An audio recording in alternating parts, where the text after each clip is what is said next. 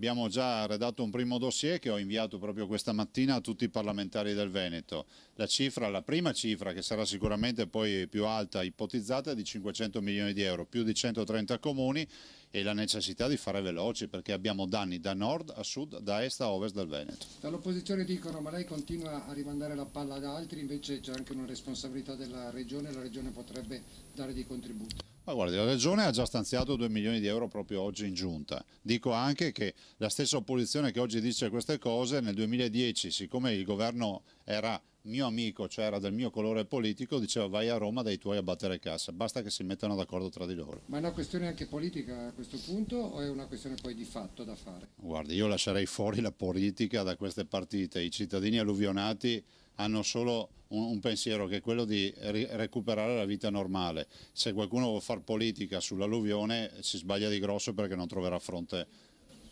sui contributi assicurativi? Beh, io ho sempre chiesto con gran forza già dal 2010 che vi sia un'assicurazione a livello nazionale, il che ci permetterebbe di creare anche una, una sorta di, di, mutua virtuosa, di mutualità virtuosa affinché tutti pagando pochissimo possano avere però riconosciuti i danni poi qualora vi fossero le catastrofi. Ricordo che i danni a livello nazionale delle calamità ogni anno ammontano a circa 2 miliardi e mezzo di euro. Mezzo miliardo dice l'intervento di primo di prima necessità per l'alluvione, quanto sarà quello che potrà dare la Regione e inserire all'interno del bilancio 2014 che ancora si attende? Beh, noi nel bilancio cercheremo di fare il possibile, però so, è una goccia d'acqua in un mare in tempesta, nel senso che dopo aver lasciato 21 miliardi di tasse a Roma ce ne restano pochi a casa, per cui non vorrei mai trovarmi nella condizione di dover veramente arrabbiarmi perché da un lato versiamo 21 miliardi di tasse e dall'altro i nostri veneti restano ancora in mezzo al fango all'acqua. Ma la sponda la facciamo con tutti, guardate, io penso che ci siano dei momenti, dei contesti nei quali la politica deve restare fuori e quello delle catastrofi è uno di quello.